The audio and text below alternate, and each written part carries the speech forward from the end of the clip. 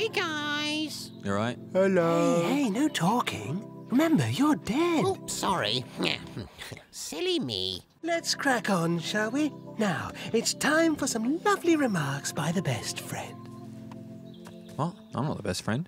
Yes, you are. I'm your best friend. I didn't. Yeah. We're close. I mean, I know you. I I know which one you are. Look, I'm leaving you all my stuff. Yeah, but I don't want it. I mean, that's just that's just our stuff anyway. That's our plate. And my diary. There's nothing in it. It's new. I just got it. I could do the lovely remark. I don't want you. I want my best friend. I'm not your best Hey, friend. Hey, look, just speak from the heart.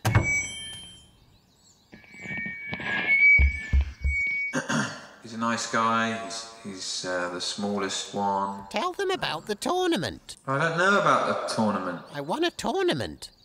Didn't I? Did you? Okay, great, thank you. Beautiful stuff, very moving.